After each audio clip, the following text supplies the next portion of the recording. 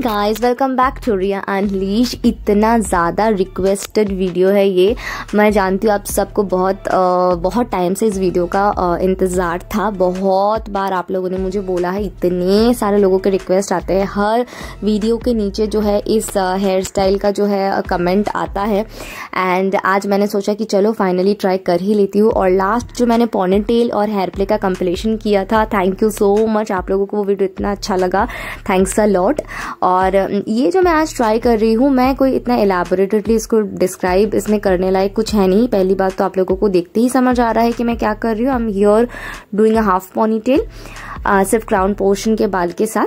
आ, मैंने ना एक्चुअली मुझे फ्रिंजेस पहली बार तो मेरे फेस पे अच्छे लगेंगे। मतलब एक बार मैंने ट्राई किया था वो भी फॉल्स ही किए थे। मैंने एक बार फ़ोटोज़ भी आपके साथ शेयर किया था।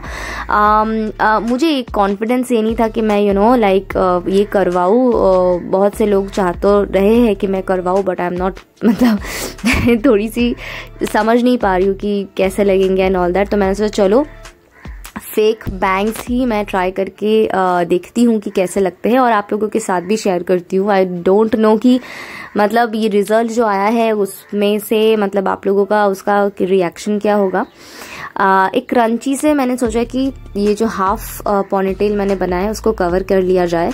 एंड ये क्रंचीज मुझे काफ़ी क्यूट लगते हैं और अच्छा क्रंचीज और हेयर डिटेल्स का मतलब जो कुछ भी मैं चीज़ें इस्तेमाल करूँगी इस पूरे ट्यूटोरियल में उसकी जो सारी चीज़ों का डिस्क्रिप्शन बॉक्स में आपको लिंक मिल जाएगा मिलती जुलती चीज़ों का। Starting from the hair straightener I use किस फ़ोन से मैं शूट करती हूँ, है ना? क्रंचीज कौन से इस्तेमाल करती हूँ, सारी चीज़ें जो अमेजोन से मैं खरीदती हूँ most of the stuffs of mind तो उसके सारी चीज़ों का जो आपको डिस्क्रिप्शन बॉक्स में मिल, लिंक मिल जाएगा। काफ़ी लोगों के क्वेश्चंस आने लगे थे कि प्लीज़ मैम हमें बता दीजिए कि आप किस तरह शूट करते हो क्या यूज़ करते हो। जैसे कि ये हेयर स्ट्रेटन आपको पता है है ना कि मैं आइकॉनिक का यूज़ करती हूँ तो इसका लिंक आपको डिस्क्रिप्शन बॉक्स में मिलेगा।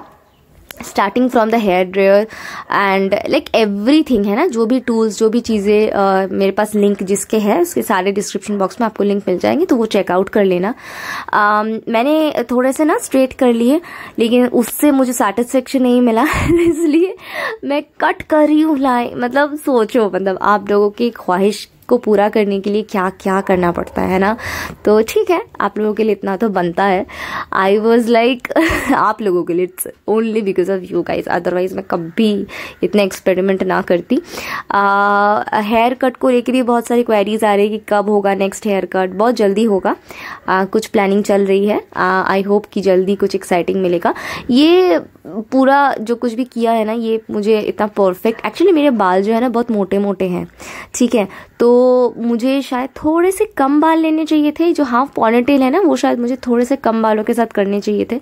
बट आई डोंट नो मतलब ये क्यूट तो लग रहा है लेकिन uh, है ना बहुत ऐसे पता नहीं मुझे ऐसे थोड़े से स्टिफ से लग रहे हैं ना मतलब वो जो फॉल होता है ना बैंग्स uh, का वो फॉल मुझे कुछ इतना परफेक्ट समझ नहीं आया। मैंने फिर भी कैंच मतलब सीजर्स के साथ थोड़ा सा उसको शेप देने की कोशिश की है लेकिन आ, बहुत कुछ ज़्यादा मैं कर नहीं पाई और बहुत कुछ ज़्यादा मुझे करना भी नहीं था। Just wanted to keep it candid face पे देख रहे हो आप बाल मेरे?